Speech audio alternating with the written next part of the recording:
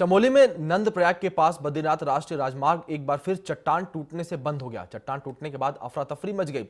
हादसा एनएच निर्माण कार्य के दौरान हुआ। मलबे की चपेट में कई घर भी आए हैं।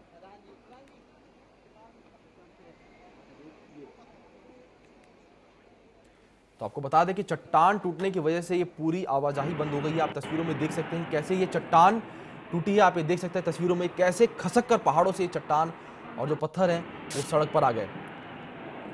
तस्वीरों के ज़रिए आप देख सकते हैं। जैसे ही ये मलबा सड़क पर आया तो आवाजाही पूरी तरीके से बंद हो गई। आपको बता दें, बद्रीनाथ राष्ट्रीय राजमार्ग इन पत्थरों की वजह से बंद हो गया है। वहीं राहत की बात यह रही कि किसी व्यक्ति के इसमें हताहत होने की कोई खबर नहीं है, पर कुछ घर और गाड़ियाँ इसकी चपेट में ज़रूर आई हैं। आप तस्वीरों में देख सकते हैं कैसा भयानक मंजर रहा होगा। राहत की बात यह रही कि कोई भी व्यक्ति इसमें हताहत नहीं हुआ है।